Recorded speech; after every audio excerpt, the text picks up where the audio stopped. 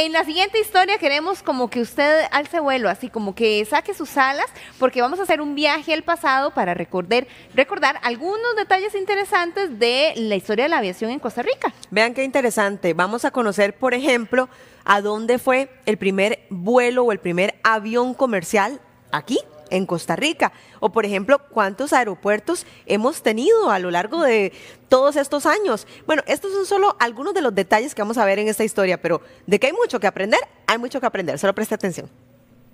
Una de las reliquias más apreciadas de mi abuelo fue una fotografía del primer avión comercial que aterrizó en el primer aeropuerto comercial de Costa Rica, la Lindora.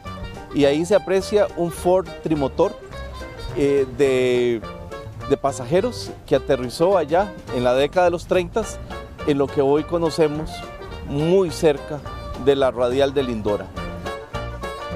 Así empieza oficialmente la historia de la aviación comercial en Costa Rica. Más de un siglo de trayectoria, Lindora fue esa primer ruta aérea. Después, por la cercanía con el centro de la capital, y el desarrollo se traslada a la sabana. Posteriormente, en el gobierno de León Cortés, inspirado en el edificio del aeropuerto La Aurora, en Guatemala, se estableció el aeropuerto que conocemos como La Sabana. ¿Para qué? Para poder acercar a todo el turismo y todas las salidas del país a la capital. En 1928, un hecho histórico marca la historia de este aeropuerto. Charles Lindbergh llega a Costa Rica y es recibido por 30 mil personas.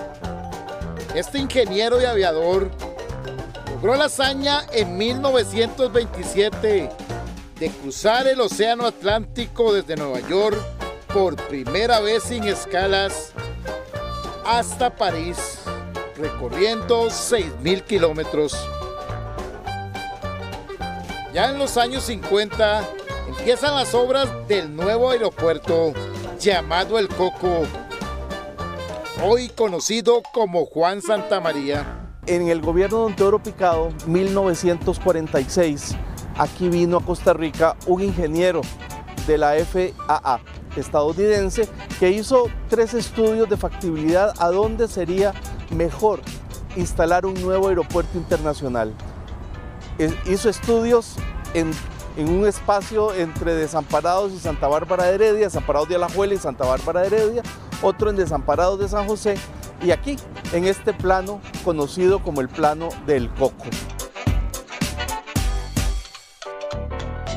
Mi abuelo acompañó a este ingeniero y mi abuelo muy eh, entrañablemente recordaba una, una anécdota que le sucedió explorando este plano, encontraron con una serpiente venenosa a la que le dieron muerte, pues posó él a caballo con la gran serpiente.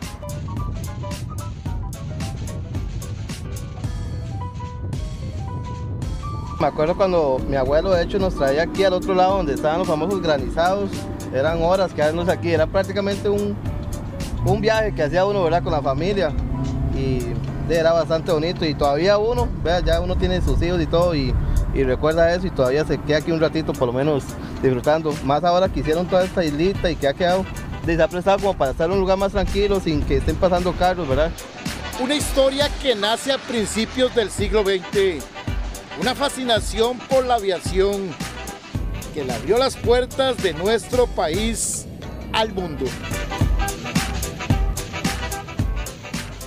Gracias por volar con Informe 11. Esperamos que este vuelo haya sido de su agrado. Lo esperamos en un próximo aterrizaje. Ah, no, no. Bien. No, era que nos encantan esas historias que nos acercan también a valorar lo que tenemos, el recorrido, lo que ha costado. ¿Se imagina qué interesante que todos en lugar de agarrar hacia la juela, buscar el Juan Santa María, podríamos perfectamente estar buscando hacia Santana cada vez que tenemos algún, algún vuelo que vamos a ir a pasear o alguien tiene algún trabajo ahí que hacer fuera del país.